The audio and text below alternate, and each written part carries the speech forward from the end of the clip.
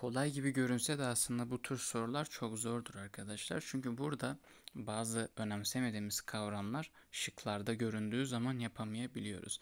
İsterseniz ilk önce keywords'lerimize devam edelim.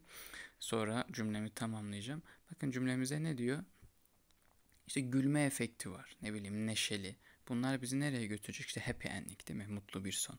Bunlar bizi komediye götürecek. Fakat hangi komedi? Şimdi A ve D şıkkını böylelikle eliyoruz. Elimize 3 tane şıkkımız kalıyor. Şimdi romantik komedi nedir değerli arkadaşlar? Aklınıza ne gelecek? Bizim saçma yaz dizilerimiz gelecek değil mi? Romantik komedi bu.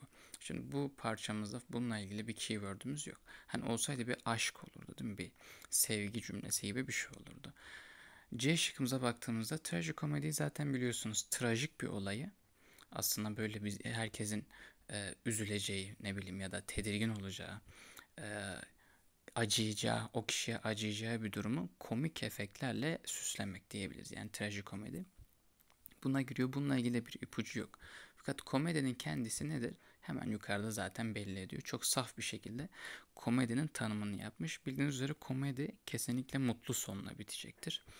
Ee, ve gülme efekti de vardır içinde. Zaten cevabımız da E şıkkı oluyor.